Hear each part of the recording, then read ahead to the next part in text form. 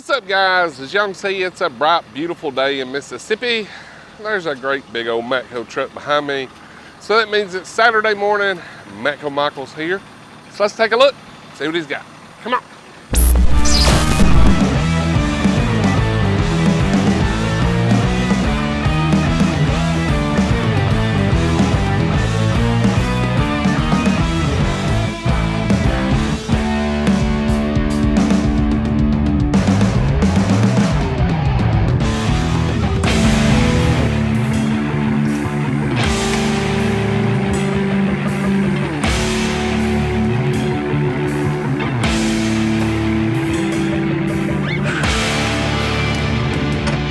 Sunshiny day, ain't it? That's right.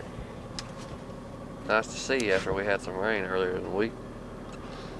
Well, I see you got your box back on here. Yeah, we got it out of the way uh, uh, Wednesday night.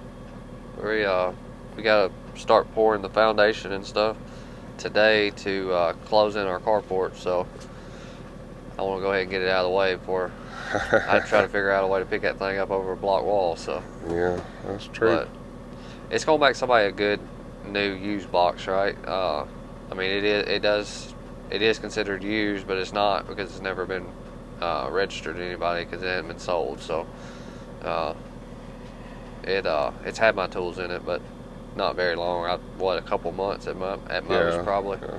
So it, I mean, it still looks really good. Had a couple people commented on yesterday. Somebody's going to get a 6S box for a steal, Is what it's going to equal up to because we all know 6S is one of the top. Uh, I mean, it's just right there under the Revel. So they normally run a lot higher than what that one's going to sell for. But Cool. we uh, it kind of happened to where we got gray all at once. We didn't we didn't mean for it to happen that way. That's just we've had this one for a little while. Then the gray cart come in, and then of course rolling that one on here. So it's kind of uh, everything's gray, but that's okay. We'll we'll make do with it. Sound like you got a head cold. I do. I'm fighting one just like many other people are anyway. But Yeah, I got it too. it is what it is. Just uh, I guess bear with me. I guess we'll make it work. Got a new tool, huh? It is. This uh, it's going to be the uh, hydraulic brake caliper press. Mm-hmm.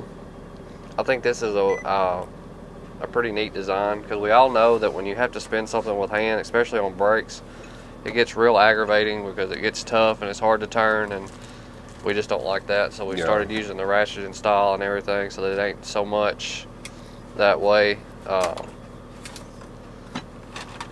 we'll have to assemble it right quick. Let me cut that heat off up here. Hold on one second.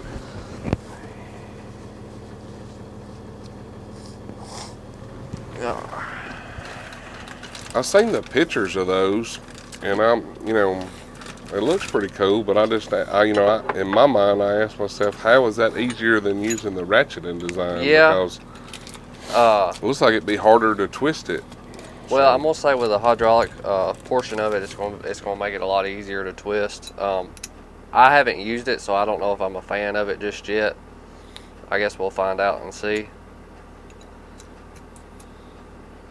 But uh, I'm gonna I'm gonna go in some shops this week, uh, this next week, and see who who's doing brakes and stuff like that, and I'll try to decide then uh, if I like it better than the ratcheting. But it's to go thinner than most of the ratcheting style. Plus, it don't have that uh, bar sticking out the back. So, if if on the smaller press, uh, if the uh, threads got in the way, Mm-hmm.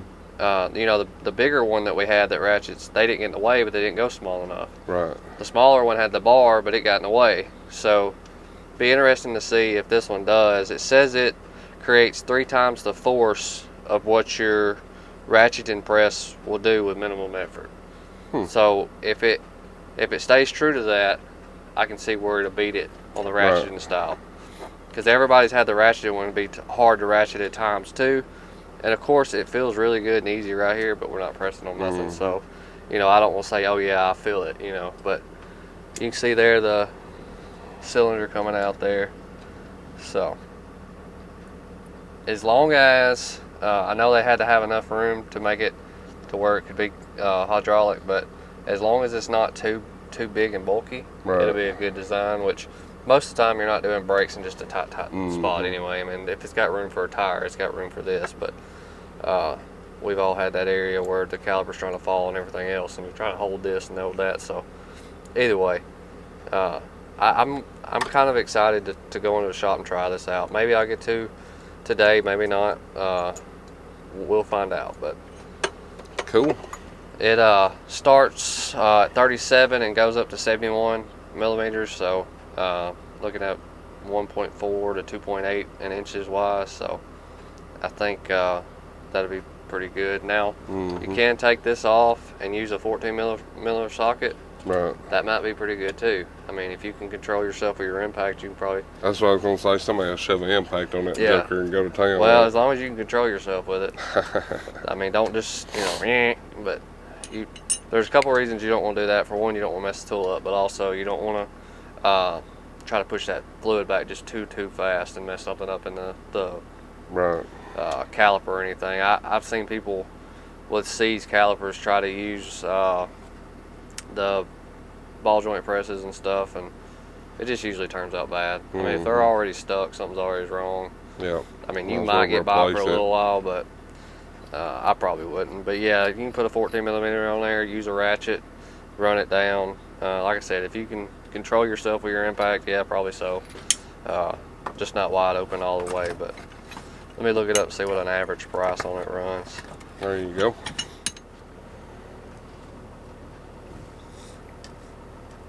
So Somebody actually sent me a message last night where they had bought one of these pry drivers and it bent. He's like, You think it should be warranted? I said, Absolutely. I think so, yeah. Absolutely. um, you know, we, we talked warranty in depth last week how uh, some of it, you know, is all on what the dealer is willing to do. But something like that, I mean, it, it, it's made to pry. If it Mhm. bends prying, well, it, it's it's covered. You know, that's there should be no questions asked. The average price of this thing is going to be around a hundred dollars.